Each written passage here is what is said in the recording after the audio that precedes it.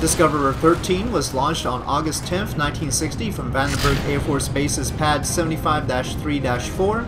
It was the 13th attempt by the U.S. Central Intelligence Agency to launch a test film return capsule to orbit and recover it safely. Most of those attempts did not even make it to orbit safely, with only five making it to orbit, and those orbits often being too high for recovery.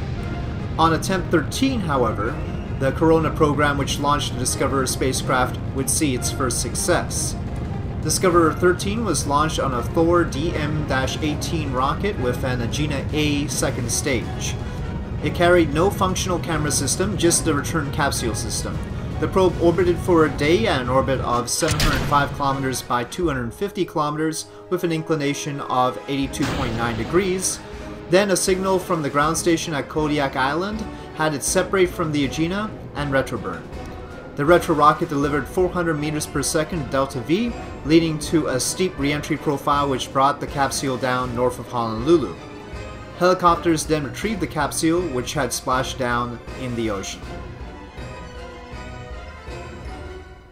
Because Korabl Sputnik 1 had failed to deorbit as planned, and the launch of Korabl Sputnik 2 was 9 days away, Discoverer 13 managed to become the first man-made object recovered from orbit.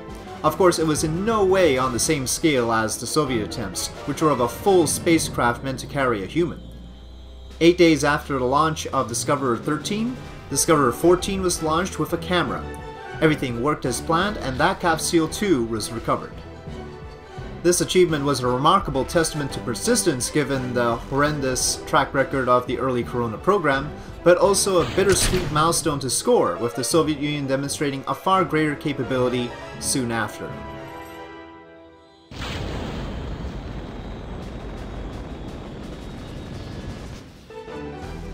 And on that note, thank you for watching this mission profile of Discoverer 13.